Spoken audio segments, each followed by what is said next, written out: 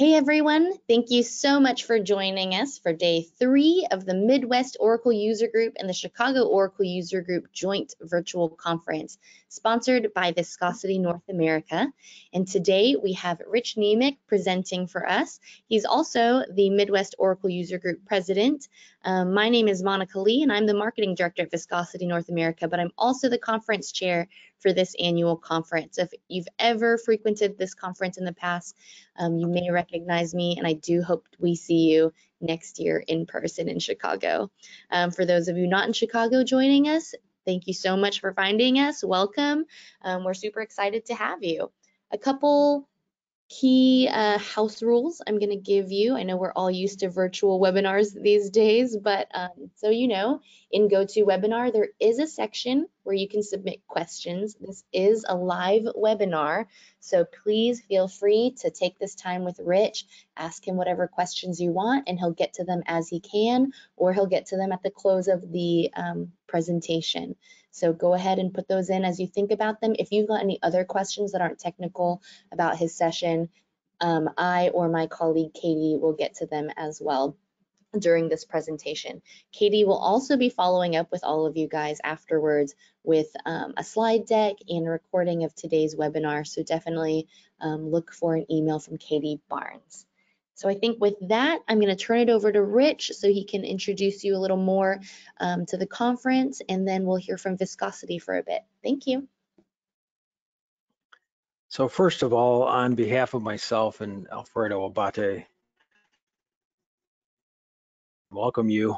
I did want to let you know that tomorrow, Burcin Kaplanoglu will be speaking on how Oracle's Innovation Center, which is in Chicago, one of just two in the world, uh, was built with uh, robots from Boston Dynamics, uh, integrated with Oracle, RFID tags, wearables, 3D sensors, talks about how the connected home is being connected to utility companies and how Oracle can help manage that. On Friday, we have Marcus Arancibia, and he is going to talk about you've got a model in machine learning. Now, what's next? And the next step of that with advanced, more advanced machine learning. And with that, I'm going to pass it to Katie. Thank you so much for sponsoring us today and running our virtual conference at Viscosity. Thanks, Rich. Good afternoon, everyone. Thanks again for joining us today. Um, my name is Katie Barnes, account manager at Viscosity. We are very excited to be sponsoring this conference um, and are looking forward to the rest of the presentations this week. And before we get things started today, I'm going to introduce you guys to Viscosity and go over some of our different areas of expertise. Viscosity is an Oracle partner. We work very closely with Oracle Product Management, and we have four Oracle ACEs among our leadership. At our core, we help businesses adapt and thrive with the changing needs, demands, and technologies that businesses face. Many Oracle customers are increasingly relying on professional service partners like ourselves to serve as trusted advisors and help make better purchasing decisions in an area that is constantly evolving. Our business model at Viscosity is designed to implement technologies and solutions that will ensure your challenges and goals are met with. And we do this by building close relationships with individuals like yourself, being an open and honest resource, and showcasing our areas of expertise through our webinars and workshops. So our areas of expertise really fall under three pillars, data, apps, and infrastructure. A large bulk of our business is on the database side, including data integration, data warehousing, zero downtime migration to latest versions, including 19C. And overall, we help improve performance at the database level. In our applications practice, we do a lot of Apex development, EPM, ERP, we develop custom apps. And lastly, our infrastructure and hardware practice includes Oracle's public cloud offering, bare metal engineered systems. And we were actually named Oracle's ODA partner um, back in 2019. So as you can see here, we're very active and recognized within the Oracle community. We do pretty much everything when it comes to Oracle, but these are some of our more broadened areas of expertise. As I mentioned earlier, we have a very close relationship with Oracle. The people that you see here on this slide represent some of Viscosity's leaders and our Oracle ACEs. These guys are awesome. They present at Open World and Oracle User Group conferences all over the globe each year, um, and they're very eager to meet with you and your team and help uncover how we can best support you. Trust me when I say there's nothing better than having four ACEs in your hand. So this slide showcases some of our other services, and I'll just briefly highlight a few of them. In our team at Viscosity, we have experts on Oracle license management that have actually come from Oracle and worked in that space for several years. We provide all of our customers with the best knowledge and the best practices on how to manage and maximize your Oracle investment. We are probably most known for our zero downtime migrations and upgrade services. We've helped customers migrate from AIX to Linux with zero downtime, and more recently have been helping our customers with upgrading to Oracle 19c. Um, with our performance health checks, we can fix pain points before they become real problems for our customers. Definitely another popular service that we offer. And lastly, we have a full stack of DBA services as well. If you have any questions about our services, please reach out to one of us. We are always happy to answer any questions that you might have. I wanted to showcase the work that Viscosity has put into becoming trusted advisors who have actually written the books on Oracle's latest technologies and versions. Anything from virtualization, pluggable databases to Oracle Exadata. If any of the books that you see on this slide interest you, or if you're interested in connecting with one of us, like I said, please reach out to me. More than happy to share resources with you and your team. Alrighty, last slide before I introduce today's speakers. Um, if you haven't already checked out our events, our events page, please do so using the URL that you see here, viscosityna.com slash event. We update this page on a monthly basis with our webinars, workshops, and our other events that we have going on. Um, it is a really great resource. I will be sending out a copy of the slides and a recording of today's presentation to everyone, hopefully later this afternoon. So just be on the lookout for an email from me. Um, sometimes they can go into your junk or spam folder, so just be aware of that. Um, and in the meantime, if you guys have any questions, feel free to submit questions in the chat box or email me directly. Um, my email address is at the bottom of this slide here. So now let's go ahead and introduce today's speaker. Today we have the amazing and wonderful Rich Niemiec, Chief Innovation Officer of Viscosity, Oracle ACE, co-founder and CEO of TUSC, and world-renowned IT expert with over 30 years of industry experience. Um, his experience in data processing ranges from teaching to consulting with emphasis in data administration, performance tuning, project management, and technical education. You guys are definitely in great hands for today's presentation. So without further ado, I will go ahead and hand it over to him. All right, thanks so much, Katie. I appreciate being here. Uh, I feel like machine learning is a very deep topic, so I decided to write a machine learning 101 session just to give you exposure to many areas of it. You'll have to take this home, download it, get a copy from Katie. I'll give you the email to get that in the future to really become good at it. But it, but as you watch this, think about your company and where things can apply to your company. Which algorithms apply, which business situation apply. And I always say, welcome to the fifth dimension, because everything they talked about Twilight Zone is happening right now as we speak. And you can create that. You have been given a chance. You want to make a positive difference in the world? You can do it with machine learning. Uh, there's a little bit about me and Katie talked a lot about, it's nice to have four aces when you're upgrading at 19C. That's all I can say. And here is a get a copy of the free notes, hello at viscosity.com. I know that'll get to Katie, but there's her email just in case. And a lot of stuff like this I put on Twitter on a regular basis. But what are we going to look at? There's a lot of disruption happening right now about machine learning and Oracle a little bit on that. But the key of this is what are the applications of those algorithms? Where can you use them? Think about it as I go through it. And again, just I'm going to go through it at the surface. And then some of the places the data is flooding us, big data, IoT. Oracle has also put machine learning in Oracle apps. Let's take a quick look at that, and then I'll look at robotics, things like RPA in the future as we go through.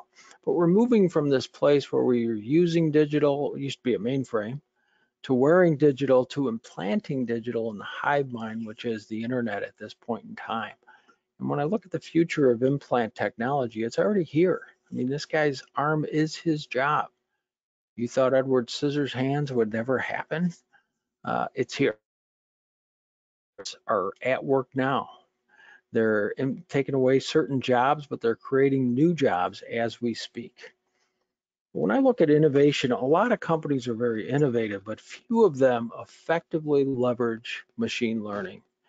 Uh, according to Gartner, it's less than 5% right now. Uh, they use big data, but they don't leverage it to its fullest using things like robotics and AI and machine learning. But this disruption is happening. We've gone from postal to email, telegraph to a telephone, then a cell phone, floppy drive to a USB, encyclopedia to Wikipedia, filing cabinet to a database managed by a DBA. And we're going faster. Email just, I'm going to text you. I'm going to send you a picture, Snapchat and Instagram. USB, maybe Google Docs or somewhere in the cloud. Wikipedia, going to a robot, Alexa and Siri. You don't think it's a robot? It is. DBA, moving to autonomous. DBA is managing too many databases. Autonomous database helps me to manage some of those. But innovation is more than just the cloud or technology. It's how do I apply that? You know, this is maybe a telephone and then a cell phone emerges at some point in time. So let's look at some of the innovators. Apple is specifically a tech innovator. If you look at the things they've done, it's tech over time. Whereas Amazon is really a retail innovator, have their own Black Friday, have their own Prime Day, Innovation Day. Google is really a marketing innovator. And through that marketing that they sell you a lot of information, they're also see, well, we can leverage that data. And they use a product called TensorFlow as image recognition. So I look at a thousand pictures of cats and people and cars, and I say, uh, with an autonomous car, I could say, don't hit those cats, people, or cars. That through TensorFlow, you did image recognition. You know what they are now. Oracle also integrates with TensorFlow. So hopefully the people that build those cars do a very good job. We don't have any issues. Oracle though has a different focus. Their focus is you. Their focus is I'm giving you the tools so that you're an incredible carpenter. Look at Larry Ellison. I admire risk takers, leaders, people who do things before they're fashionable. He's saying I like innovators. What did they do? They gave you a cloud. Be a little late, but it's starting to grow very fast now. They also bought a company called Data Science because they believe every organization is exploring it to proactively give them competitive advantage. So Oracle sees this coming. So they have that pr product uh, company they bought on data science, but they also have autonomous database, not very expensive, by the way, and machine learning's built into it and it's free. Apex built into it and it's free. But they also put it in the apps for you. You want to do manufacture, they've got machine learning it. And they've also added it to OAC. So four different ways to go after it. A robot may not look like one. Oh, they don't complain. They work 24 seven. Autonomous database, it's a robot working for you, alongside you. That's what's important is makes you more valuable if you could get three times the work done. Automatically manages the database, secures it, tunes it, recovers it, puts the patch on before you even know you need a patch. Leverage that. Have this helper at your side for the databases that maybe are smaller. You could put on autonomous database where it fits. How about the, the, the autonomous database and the DBA and machine learning in general? It's going to change your job. I hope so. You're going to get closer to the business. Data is going to be critical. Data admin is going to be critical. Uh, the developer, you, you'll see here, there's a lot of SQL involved. And who's watching over all those cloud costs as well? So your job's not going away, but it is shifting as it has in the past. Autonomous data warehouse, if you wanted to provision one, let's see how long it takes. Oh, three minutes, you have it up, 18C. Oh, three minutes, you have it up, 19C. Oh, you were on 18C, they'll automatically upgrade you to 19C. Use automatic indexing to make sure it's as fast as it was. 70% growth rate Q4 last year. Autonomous transaction processing provision, two and a half minutes it took me. Autonomous JSON database or documents. You know, some people say I want to use Mongo. Mongo and AWS have been fighting over benchmarks, who's faster. And then Oracle used the same benchmark and said, oh, by the way, we're twice as fast. And you know what? We'll do it for half the price. So you want to have JSON database. I can also very quickly scale it up or down. I don't have to move it to a larger server, server like I have to do in some clouds. I could just scale it.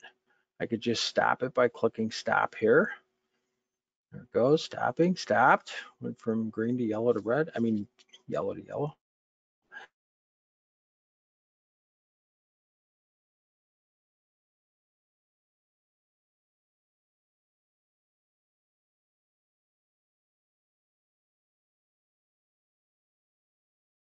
I also go to the service tool and do things like Apex, develop.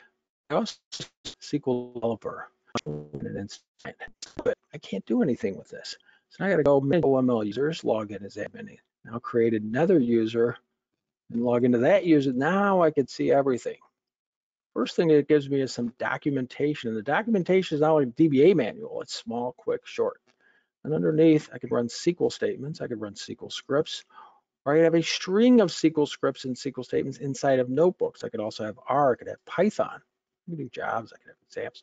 But let's get started. And we have these quick start tutorials. Take all of a few minutes to learn different things. If I go into SQL, select star from tab, can do that since version five. Creating a table, you can see it's tabular. Now I'm gonna click on the pie chart and it'll turn into a pie chart. Settings, I could change the groupings and things like that as well. Now the heart of what we're looking at is how do we get to be that data scientist? And do we even want to be that? I feel like it's multiple people, but the first step is, do I understand the business and what we need? Do I understand the data, how to visualize it? What about missing data? Can I bin it in certain ways, normalize the data? What about unstructured data? All these different data types. How about modeling? Build a model, evaluate, and deploy it. You're gonna find out this data part, it's the biggest part of this. So first of all, the business understanding, not predict the best customers, but by how much money they spend, how often they spend it, specific dollar amounts, you know, what is it? Maybe I wanna just classify good and bad customers. I don't want the best customers. I want to classify this so I can go to big data and find out if any of that has my good customers in it. I want to predict employees that leave, but based on people that voluntarily left, tell me who might leave or cluster things into age groups. So Oracle starts with this, and most of this is just kind of give you a feel for it, only an overview, supervise functions. So first of all, I have a function I want to do. I want to know what attributes make that great customer. I classify into good or regression, show me my future numbers. Supervised learning says take the data I have now and then leverage it with new data. And here's some of the algorithms. I'm going to go through the functions and algorithms one at a time. You don't have to learn them here. And there's unsupervised functions. I don't have any data. I'm going to some data I don't know anything about. Cluster it into age groups maybe. Find anomalies. Association rules, feature extraction, and there's some algorithms that go with it.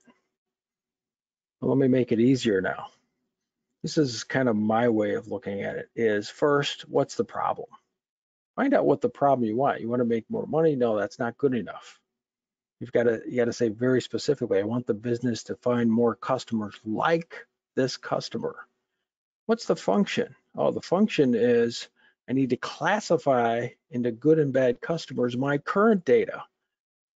Then I need to build a model using an algorithm, a classification algorithm, of which there are seven to try this out and I have to know which one I want to use. Then I'm going to train that model with 60% of my data because I know which are good and bad customers, see which model is the best when I score it against the other 40%. So the other 40%, I say, how well did it do? And I already know which ones are good or bad. And then I'm going to compare seven different algorithms I can use for classification.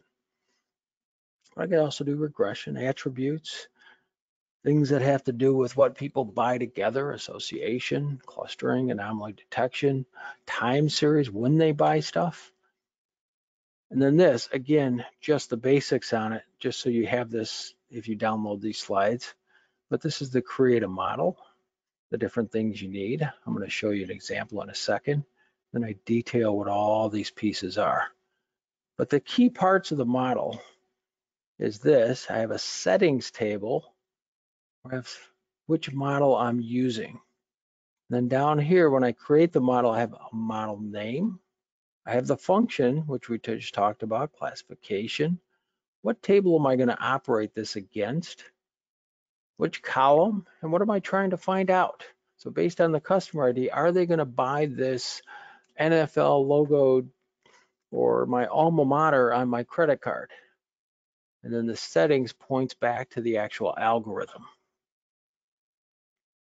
And here's one that does anomaly detection, also does classification, but based on the customer, it's looking for null, means just find anomalies. I'm not trying to find if they're gonna buy a credit card. I just wanna find if they fall outside. Are they an outlier? And then some ways to look that information up. Here's a quick example. How would I use this? Here I'm creating a, a settings table with support vector machines as the algorithm I'm using, I'm doing attribute importance. Give me the customers that are buying insurance. What attributes mattered? Now I go into this and it says, well, bank funds matter the most, but all of these other things also mattered. So very quickly, I find out which attributes matter very quickly. Then I can do classification. Again, I'm using support vector machine. But now the function is classification and I'm classifying them into customers that are gonna buy insurance. And then I'm gonna go there and I'm gonna do a select using that model name. And I'm gonna say, given, if I give you all of these things that I know are important attributes, will they buy insurance? 93%. If I'm a salespeople tells me, is it worth calling them? Obviously, I build some Apex app for that salesperson to make it easier. These are the algorithms Oracle support. It's enough to keep you busy for about five years. That's all I can tell you. There's all kinds of settings, but the real names of them that you have to set are here. Took me a while to find all these. Keep in mind there are additional settings within each of these. You know, how many, for example, cluster, how many groups do you want? That's a setting. And then there's some examples Oracle has with a function. I'm like, I don't even know what algorithm they use. Where is it? And there's a default algorithm as well for these different functions. So keep that in mind, just FYI. So that's just an overview on some of the basics in Oracle itself.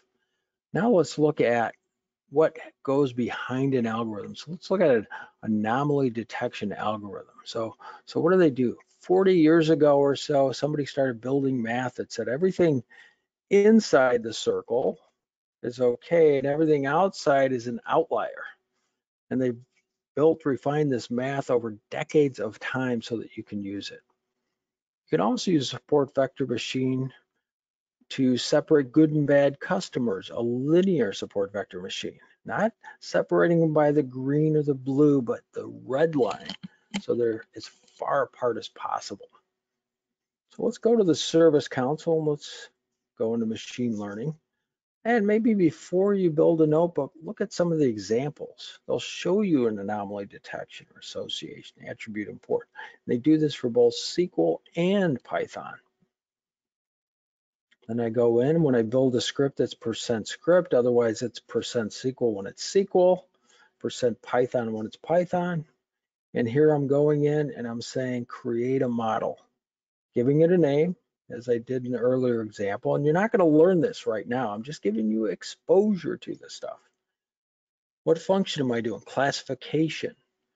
What table am I going? Customer 360 by customer ID. And then I say null, which means I want to find anomalies. And then my settings table tells me the algorithm support vector machines. And then the rest of it is SQL. Oh, I'm going to look at all these different different columns and I want to do it and predict using this model I just built to see if they're anomalous and maybe by years of residence, maybe by marital status. Ah, let's do one step better. How about give me the top 15 anomalous people by cust ID? Oh, even one step better, give me the attributes that are making them anomalous. I can go and find those. So in a very short period of time, primarily all I know is SQL and a few other commands, I very quickly can find the anomalies. Uh, another short example, just to give you a feel for it more so. You're Perry Mason. You want to know, should I take the offer for 30,000 as a lawyer or should I proceed? I might win, I might lose. There might be damages. They might be bankrupt and I get nothing. Overall, I'm going to lose $2,500 dollars for this type of case. So very quickly with a decision tree, I could find if this case comes up again, I want to take the settlement. And here's just an Oracle example of how to do that and I'm using a decision tree. This time I'm classifying data as the function, going to a table. By customer, will they buy this logo card? And then I do a prediction using that model name on seeing them whether they'll buy this or not. And then the probability I see, oh, they're in Chicago, 97%. Oh, they're in Ohio, only 9%.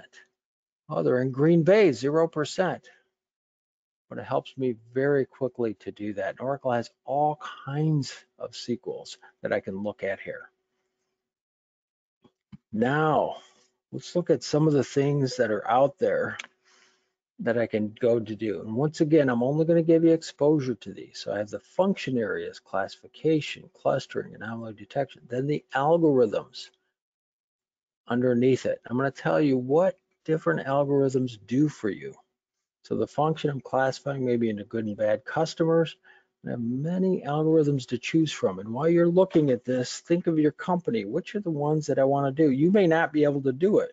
You may need someone like me to get you started on it, but you know your business better than anybody. So eventually you are going to be the person that understands the data and what makes it good or bad for your business and which algorithms make more sense for your business. So the first one in classification naive Bayes just uses a simple equation based on prior things that happened. For instance, reducing spam. Look at the spam that's come in the past, the different words that are being used, and I can very quickly, using that, find out if it's spam or not spam. Or I could look through reviews and they use certain words. Terrible, maybe it's a bad review. Uh, spectacular means a good review. And I very quickly can give sentiment analysis uh, Wikipedia example of distinguishing between males and females, given the person is six feet high, 130 pounds, and eight, size eight. Six feet high looks like a, a male based on the past, looks like a female based on the weight though. But with the foot size, it will classify it as a female. It doesn't mean it's right all the time, but just a way to classify things based on the past. Logistic regression is a choice between two things. Are they going to vote Democrat or Republic? Are they going to default on their mortgage? Yes or no? Are they going to pass or fail a test? You could put a quick Apex uh, screen in front of the data, and you could tell if this person studies only oh, one and a half hours or less, they're going to fail for sure. They study four hours or more, they're going to pass for sure. So it's a logit, zero or one. And then anything in between, they may pass, they may fail. There's also linear, linear regression. This is people use now to see what, you know, I'm hitting my numbers, so I'm going to hit them in the future. Well, not necessarily. It depends on more than that. Another classifier decision tree. We saw this earlier with Perry Mason, but it calculates the cost and the utility or value. But one step further beyond a decision tree, is sometimes they have a series of decision trees.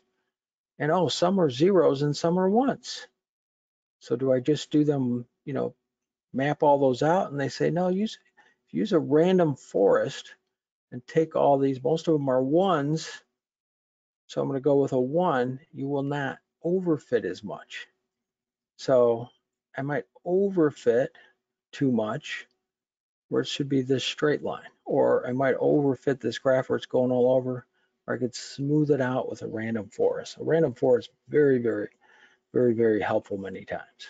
It's also neural network. I talked earlier about it, TensorFlow to do this image classification, do it for autonomous vehicles, speech recognition, handwriting recognition, all kinds of things. Emulates the brain and how the brain works and all the layers that the brain will go through.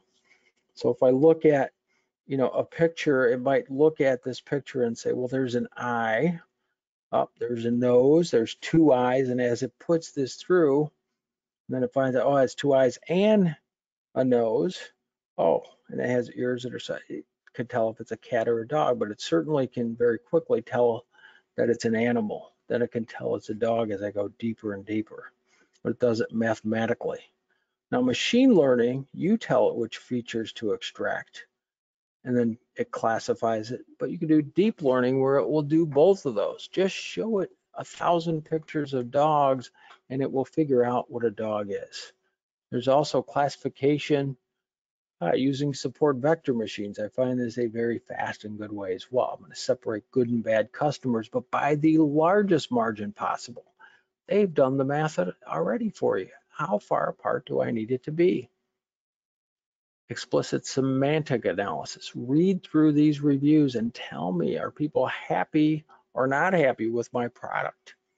Uh, sometimes it's very hard to build this yourself, but they usually have knowledge bases and products that do some of these for you. The classification. What are you trying to solve here?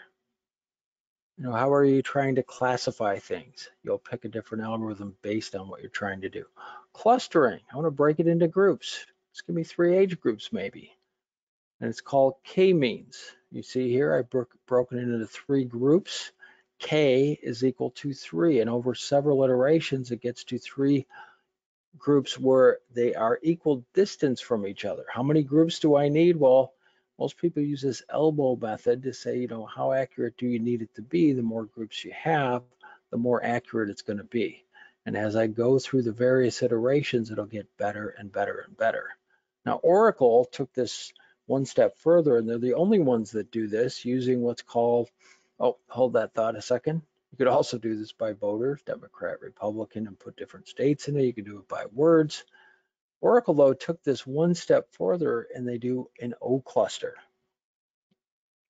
O cluster instead of distance based like k-means is density based. So it depends how much data is in that given area. I think it's much better, you know, if the vote, if this is voting, you know, there's dense areas, distance doesn't matter as much if you own the whole state as if you own certain cities. Expectation maximization is where they're looking through maximum uh, likelihood of a model and you go through an expectation step and then you maximize that step such as you know old faithful eruptions. As i go through it how long does it erupt for? Well it depends on how long the delay is but i won't see it. I have to wait a few minutes to see which one it's falling into so clustering how do I, not, not that I want to cluster the data, how do I want to cluster? Density, distance, or EM? Anomaly detection, we looked at a lot already. Uh, identify things, where are the outliers? I could also do this with text as well. Time series, sales, you know, video games tend to be at Christmas. But with Airbnb, sales tend to be around events that are happening at different times. So Airbnb uses machine learning, gives it back to the people that are, you know, renting out their houses and tells them you should be charging more at certain times. Could be weather, could be vacations, could be holidays, could be seasonality, could be how should could be something else.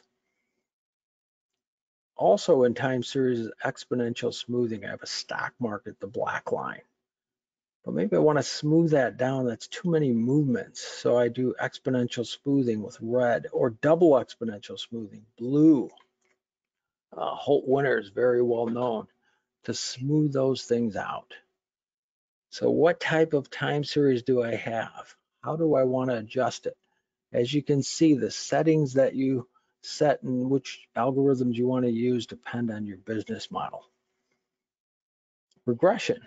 I want to see, am I going to hit my numbers in the future? Well, maybe it's linear. Or sometimes it's, you know, the unemployment as it goes down, GDP goes up.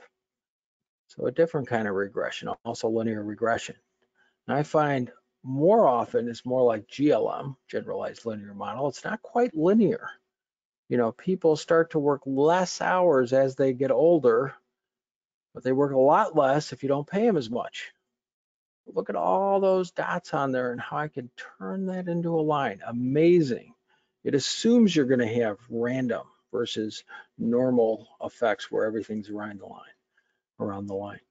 Uh, support vector machine regression. I really like this for certain business applications, but it looks maybe your data points look more like a sine wave going up and down. But which do you want the red line or do you want the the more like the sine wave? Well, the margin of tolerance you set an epsilon so you get a different wave. Now you have to know what your data should look like as you build this model. Then you can use it in the future. There's also stepwise linear regression where I'm adding things and taking things away, very much like Six Sigma, where I keep adding and keeps improving or taking away where it improves. But I could overfit that. Then there's neural network regression where I can use, as we saw before, could be speech recognition, could be numeric endpoint. But a point I did want to make here as I use these type of products as I get the data, sometimes it's billions of rows, especially when you start moving into big data. So as you look and you build more and more levels to make it more accurate, you got to keep in mind takes a lot longer. And then those billions of rows go through several epochs or several where I'm going through the data 456 times. So that's where an Exadata really comes in, where I have in memory, where I have partitioning, where I have storage indexes automatically doing things for me. Finding out which attributes make up my best customer. Well, I could do it simply. Just give me the minimum things, the basics. Keep it simple. I don't want to know the coin isn't perfectly round. I don't want to know the weighting is not perfect. I just want to know it's roughly 50-50. So that's a very fast algorithm, but more detailed principal component. I want to know the principal components, you know, how much they sell, how often they sell, where they located, you know, and kind of reduce it to those and kind of make up my eigen vector, or I'll say eigen customer. And the word eigen comes from the German, just like my very own. So if you had a car you really liked and you have to go get a new one, you, you might say, I want my eigen car. I want a car just like my very own car right now. Well, an eigenvector in the same way looks at that matrix of information that makes up a good customer and says, there's an eigenvector that matches that matrix. And I can go out and search big data to find a customer just like your very own customer. Now they may have a different magnitude, a bigger or smaller customer, but this is uh, the simplest eigenvector-based analysis is multivariate rather uh, for attribute importance. So finding your eigen customer is one of the keys, and that is a very good algorithm to do it. There's also KL divergence. You know, I have a player like the one on the right here, and the, this heat map shows where they're making shots. And I say, is this new player going to match up as well as that one? Well, in certain parts they do, but there's also the divergence between these two. If it's not zero, is the measurement of surprise. So uh, my surprise is, oh, I've lost five more games. That's called a KL, pairwise KL divergence. There's also CUR decomposition, and a lot of these decompositions make things faster.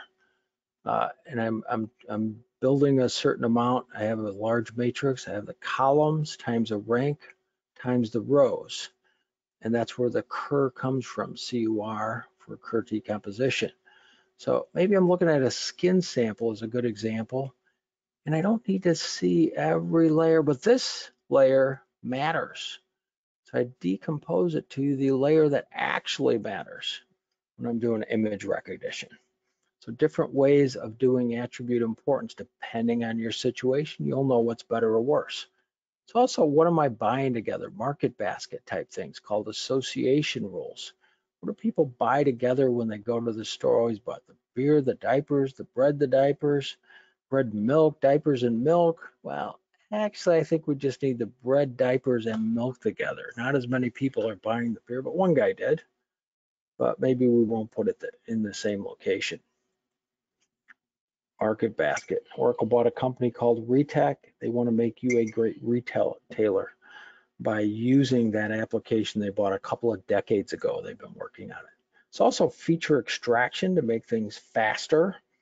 You know, I want to do facial recognition. I understand that's competent, con- controversial. I'm just making a different point about it, but I would use principal component analysis to, instead of looking at every person in the world, I could look at just certain uh, components to the structure of the face, and you'll find out there's, you know, maybe only a hundred or even less people where I don't have to look at billions of people to match it up. And this is what where they use principal component analysis. But let's look at cats and dogs instead. That's less controversial. You know, they're all over the place, but let's put it in a vector. And let's put that vector on the x-axis to make life easier. Principal component will do dimension reduction through this feature extraction. I can also do singular value decomposition. Again, trying to make that matrix simpler. And what this does, it takes that matrix and says, well, I just need certain pieces of the components making up that matrix. It's just a way to do it faster. It's also explicit semantic analysis feature extraction, where it's looking at this knowledge base and also looking at the relatedness of the words themselves. You know, is it the Bank of America we're talking about or the Bank of the Amazon? Well, they they said something about NASDAQ and MasterCard, uh, obviously Bank of America. Is it the Jaguar car or the Jaguar Panther? Well, they're talking about Pumas and Tigers and cable. It's got to be the Jaguar in the forest. So a lot of those are feature extraction to make things faster and better. There's also text mining support that Oracle's had for over a decade. You can see some of them here.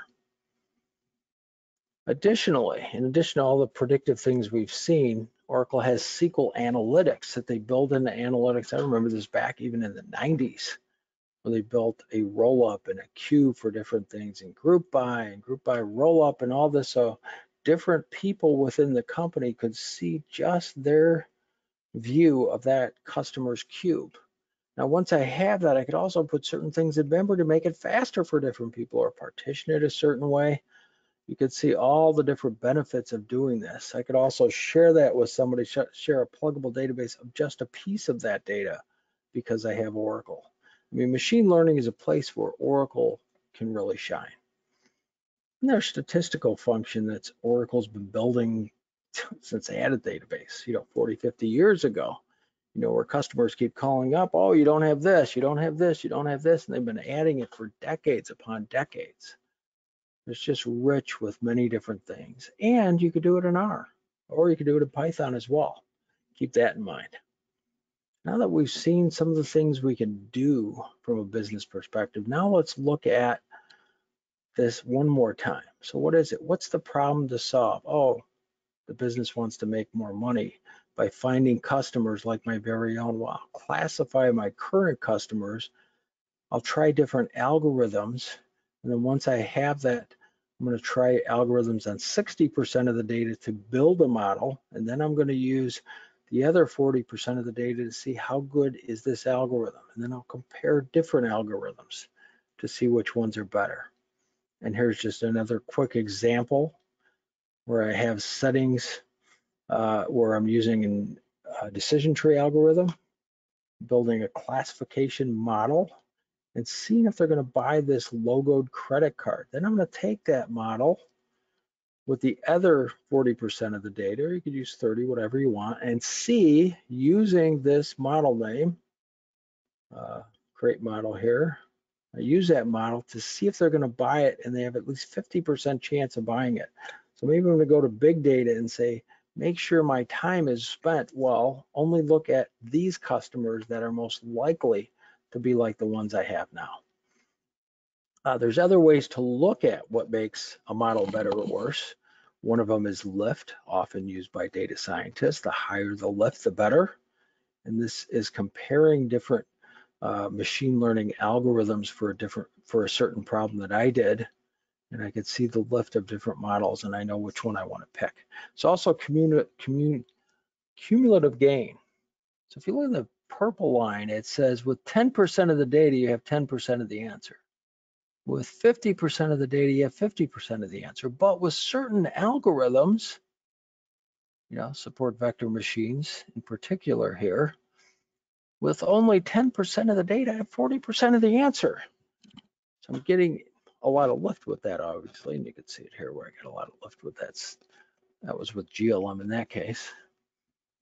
Another way data scientists will look at it is with a ROC curve and area under the curve. So here's that with 10% of the data, I see 10% of the answer. With 50% of the data, I see 50% of the answer. So that's just a random classifier. But if I have an algorithm, it's much higher. The area under the curve for a random classifier is 0.5 or 50% of the square here. Whereas the algorithms make it much higher, area under the curve, maybe 0.75, 0.9. They say, don't put it that way when you tell your boss. Tell them how much extra revenue you'll get. Oh, we won't have to have all the data. We don't have to buy that much data. And Oracle said, you know what? I'm going to give you auto machine learning. And other people have auto machine learning, but not, I don't think like Oracle is, I believe, much better and just beginning. But it selects all these algorithms and says, this is the one that's the best. Automatic feature selection, something I don't show you does automatic data where it fills in missing data and things like that and fixes the data and looks at the data in a much detailed, more detailed manner. There's auto model tuning, make which when, once you choose a model, make it even faster. So Oracle came out with this just March this year, auto machine learning, March 18th. And when did I use it? Uh, March 18th. You after using machine learning for a couple years, uh, this would have been nice to have a couple of years ago was my thought. But anyway, when I look at auto machine learning, I built one and I said, let me try it out. Let's see if it's as good as mine. This thing took me a couple of days to build, and I found out what was the, what was the best algorithm. Well, come up with the same answer. I took it, classification of data, give it a data source. Are they going to buy this credit card based on customer ID? And first of all, I noticed they had all kinds of other things, distinct values, min, max, mean, standard deviation. But then it went through. Once I ran it, I could do it either faster or more detailed and I found out support vector machine one, which is exactly what won for me. And then I could create a notebook, which was great.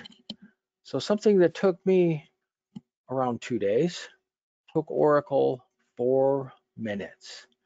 And this is an example of a Python notebook. And now I have a notebook out there for this, four minutes. So now we could see the job maybe isn't going to be building the the model itself, but using auto machine learning to build it to some degree, given that I understand different things. Now here's all of them. I added 21C. You have XGBoost, which won a Kaggle competition, which is a place where you can grab data. I used this for COVID in the early days and built an Apex app that showed me what were the symptoms of COVID before I even heard it on TV. Uh, also do anomaly detection where I can look for subtle anomalies that they used in manufacturing for decades. Oracle hired the guy that actually built that application. We should be looking at these, you know, am I trying to classify good and bad customers? Which algorithm fits what I'm trying to do? trying to cluster big data that I don't know about. How am I trying to break it up? What are the attributes that make them a good customer? And so on somebody went out to all the healthcare docs on PubMed and said, are they talking about algorithms?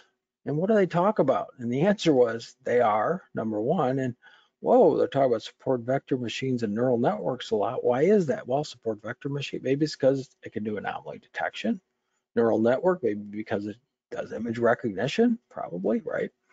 But I could do it all with Oracle right now. So you got to decide which piece of machine learning do you need to, do you want to do now, or does your company need?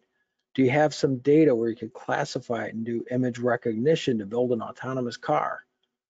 Or do you want to classify data, do anomaly detection to find fraud? Or do you want to do regression to forecast things? Or don't maybe you don't have the data, but you want to go to big data and do targeted marketing to a certain age group that you know is important for your company. Or maybe you just want to have fun with machine learning. As somebody who said, I'm going to use machine learning to turn a painting of Marie Antoinette to see what she would look like if she was walking down the street today, or Henry VIII, or Queen Elizabeth. Or how about little Debbie's snack cakes? There was no model, so what would that person look like from the drawing that the guy built? Kind of fun. There's a lot of things you could do with machine learning. You have to understand what do you need to do, but this is an impact you make. You know, why did God put you on the earth right now at this point in time? What great impact can you make? I don't know what it is, but I can tell you with machine learning, you will make one of the biggest impacts you've ever made. And there's also RPA that's come out at the same time. And I got these slides from uh, Ramesh Kumar, so I put them here, who does a lot of stuff uh, with both UiPath and Blue Prism to do RPA type of stuff. But I have a robot who can assist me and do some of the repetitive work like logging in, copying, pasting data, reading a PDF, even understand emails. Uh, and they don't make any mistakes. They don't call in sick. The programmer make, makes a mistake, then they make a lot of mistakes. Sorry about that. Uh, what can they do though? Fill in forms, make calculations, copying, pasting, reading, writing to a database, moving files, folders. The average company today has 900 business processes. According to McKinsey, 85% can be automated right now. They can also look through various documents and scrape out different information. They can fill in e-business suite type of applications with different data. So robotic process automation is another place where you're leveraging machine learning that's out there from one of these people. And thanks Ramesh Kumar for sending me those. Uh, Bijou though said, what are the emerging jobs? Hey, 2020, AI ML, number one by far. 74% growth. Know, machine learning, deep learning, TensorFlow, Python, natural language processing. All this was within Oracle, just to let you know. Uh, number one language for machine learning is Python, but you can also do it in SQL. You can also integrate Oracle with TensorFlow. You can integrate Oracle with R. Oracle machine learning for Python. This is how it looks if you're a Python person. Just thought I'd show you. You have the other Python example as well.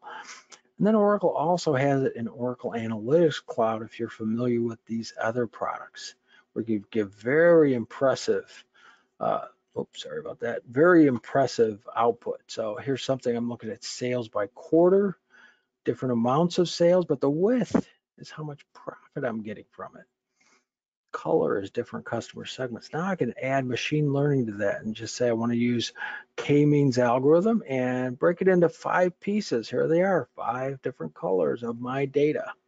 Now this product is not free like the machine learning you get in autonomous database. Keep that in mind. Data, very, very uh, impressive to Wall Street, so much so that they've bought up a bunch of companies that aren't using their data well and they want to get them to use machine learning and then resell those companies. That's how much people are not using it. 23 more times likely to acquire customers, more likely to retain them. Why? Because they understand them. You can see by the various algorithms. But big data is so big, so coming at you fast, different values in different data, different varieties, different truths of different data, veracity one Oracle database can look at all those different data types, whether it's relational, you know, uh, JSON data, graph data, spatial data, file data, documents. Uh, and then there's all that IoT data just coming from everywhere. So you need to leverage that. And it's connecting our home now. You're going to see more of this tomorrow with Bertrand's uh, presentation is driving prescriptive analytics, not what happened, which CFOs used to ask for. Then they'd say, why did it happen?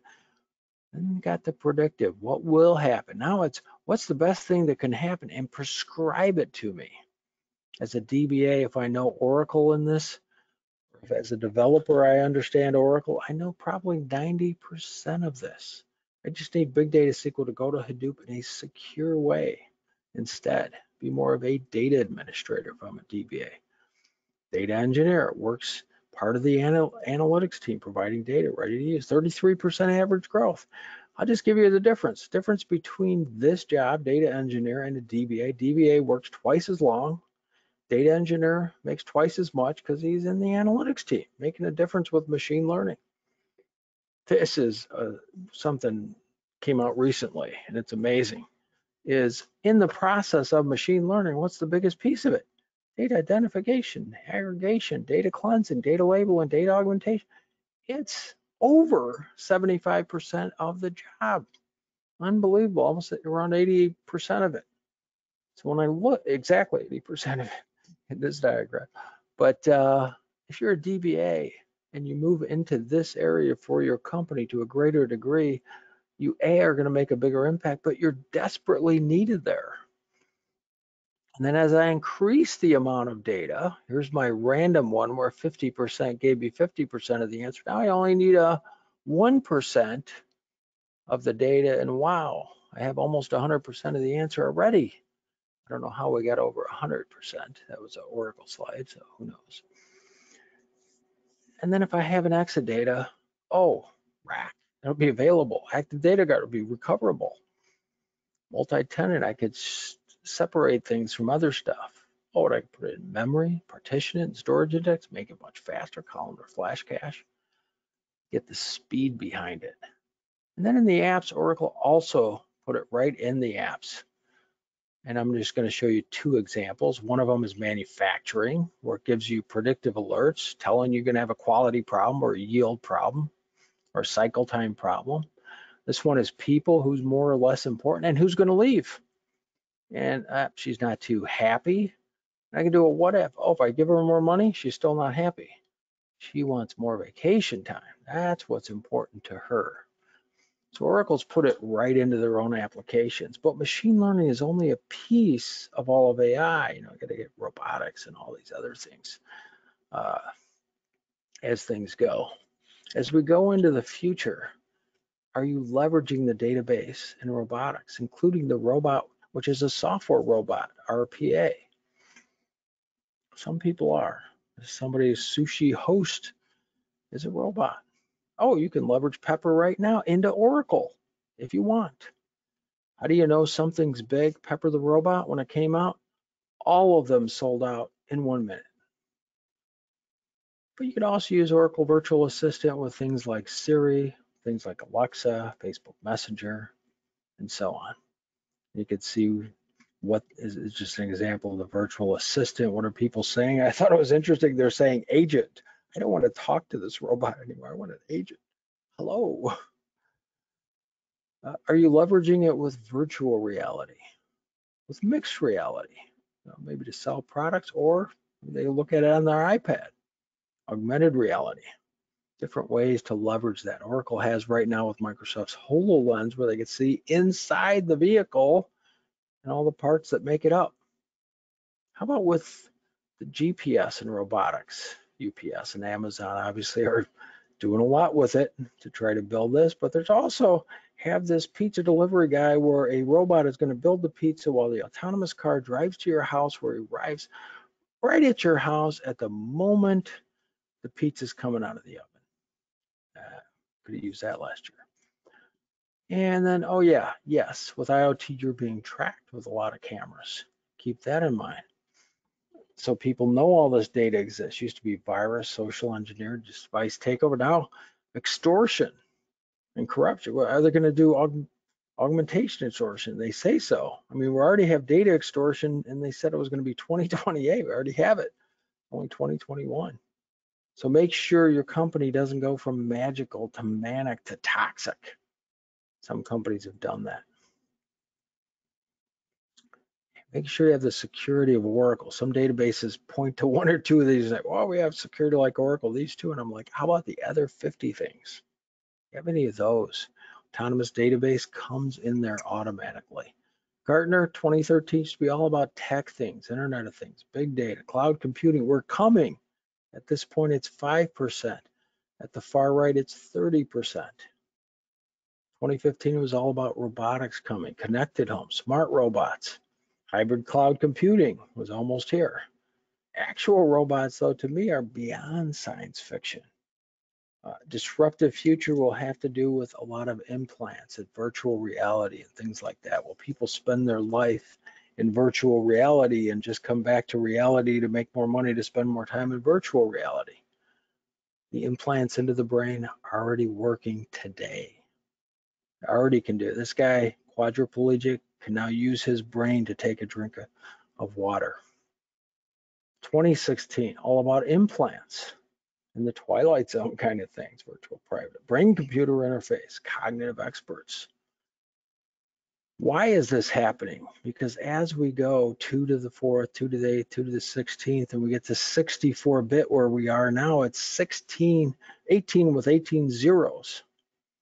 Oracle had a 64 bit database in 1995, but they didn't have the hardware. So what did Oracle do? Bought a hardware company. If I put this in miles an hour, Windows was one mile an hour, internet is 65,000 miles an hour. 64 bit, 300 trillions of miles per hour. That's the phase we're in right now, getting into machine learning. The phase after that, you won't even recognize today when we get there. 5 trillion, trillion, billion. 2018, it was all about tech creating this new reality, this digital twin. That's you and your helper, the autonomous database. Deep neural nets, mixed reality, augmented reality. There's a quantum computer if you've never seen one. There's a D-Wave chip. Uses something called entanglement. I have an entanglement book I've read a lot. That's you get a new one if you want to buy one. It looks better. Uh, that's what helps quantum computers. But what does 2020 say? I know you wanted to know that. It says machine learning is coming, not even at 5% yet. Chatbots coming, not even at 5% yet. Augmented intelligence, it's a little further out. So where are you today? If you have any questions, send them. I don't have any yet. But, you know, Star Trek used to look so advanced. You thought maybe it would take a thousand years to get here. And guess what? It's already here. I'll go into this much faster example. Uh, entanglement, which you use for quantum computers, Einstein used called spooky action from a distance. It doesn't, uh, doesn't do regular physics. We're moving faster into this implanting and hive mind world. Just wanted to give you a feel for machine learning and WIN. How do you win? Know what's important now. That there is a disruption. I think everybody knows that's here. Machine learning in Oracle, what it has and what it has an autonomous database, for machine learning. Some of the applications of machine learning that are out there. And big data and IoT. Uh, machine learning inside Oracle applications itself.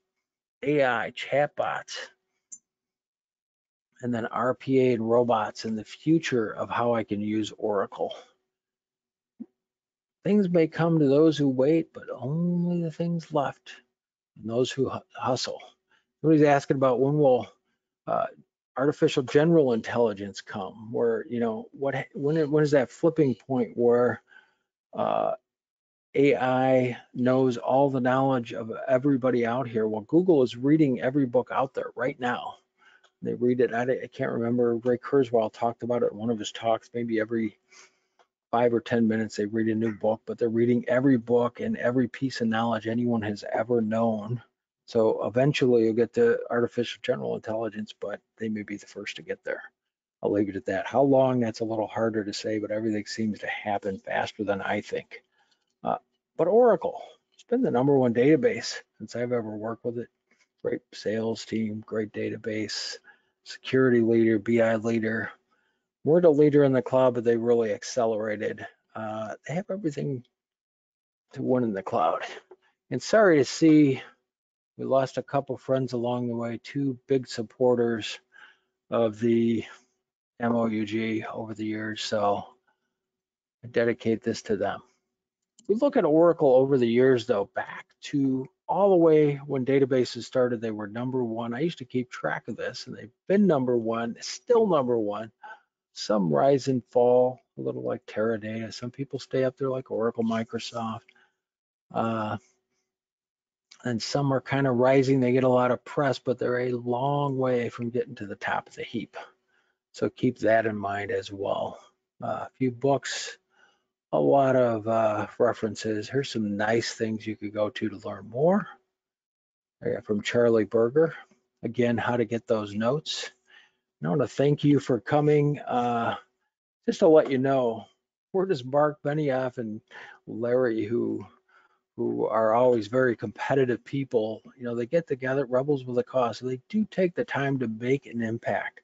I think if you want to make an impact in the world, you know, you've been given this chance where God has put you in this world at just the right time. The right product is machine learning. Make sure you leverage it to make an impact in this world because the ability to do so is like no other at any time in history. And I want to thank everybody for coming. I don't see any other questions, so have a great day. Thanks again, guys. Bye now.